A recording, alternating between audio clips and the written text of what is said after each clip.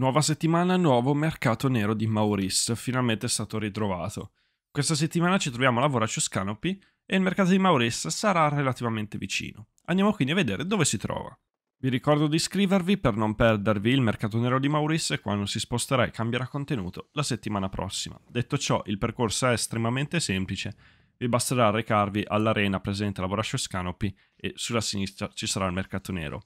E fatemelo dire, dopo una settimana giocando a Wonderlands, mi manca Borderlands 3. L'interfaccia di Borderlands 3 è molto migliore. E nonostante la grafica sia un pelo peggiore, la fluidità e la velocità del gioco sono molto migliori, ma saprete tutto la mia recensione completa di Wonderlands.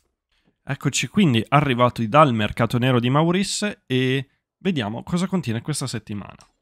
Troveremo il cecchino leggendario Sandok, il motivo per cui usare il mercato nero di Maurice, arma fortissima, ma anche facile da farmare, quindi sta tutto da voi.